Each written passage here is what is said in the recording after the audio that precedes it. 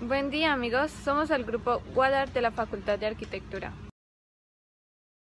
Primeramente se realizó la identificación de normas a nivel internacional como organizaciones INVAR y a nivel nacional eh, algunas normas como las Incontec y la NCR10, eh, las cuales promueven el uso de la guadua como material de construcción. Alguna problemática que identificamos es que en Boyacá actualmente no se han identificado políticas por parte de los gobiernos locales para promover eh, normas en torno pues, a lo que es la guadua.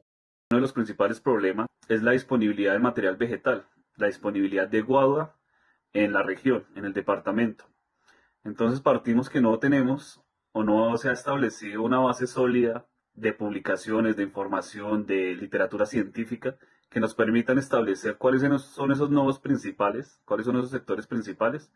que nos permitan obtener un material viable, utilización en proyectos o en prototipos de arquitectura otra de las problemáticas encontradas fue que no existen investigaciones de carácter público en el departamento de Boyacá respecto a la caracterización físico-mecánica de la guadua. El semillero Guaduarc aborda el problema de investigación de la industrialización haciendo una indagación a nivel nacional y a nivel regional del uso de la guadua,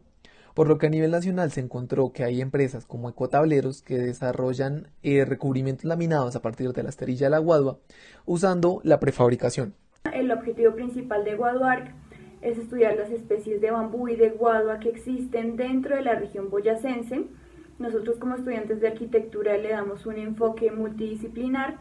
pensando en la agronomía, en la física, en la mecánica y muy especialmente en el diseño,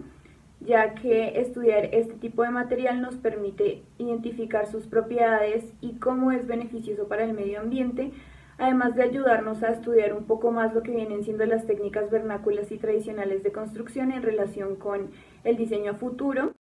Es el objetivo primero, que es identificar esos principales nodos de presencia de guado en Boyacá, analizar las principales provincias que por sus condiciones agroclimatológicas permiten una viabilidad para los guaduales, ya sean silvestres o eh, inducidos. Nuestro segundo objetivo es poder caracterizar la guadua seleccionada de los diferentes municipios de Boyacá, esto realizando diferentes pruebas físico-mecánicas para definir todas sus propiedades.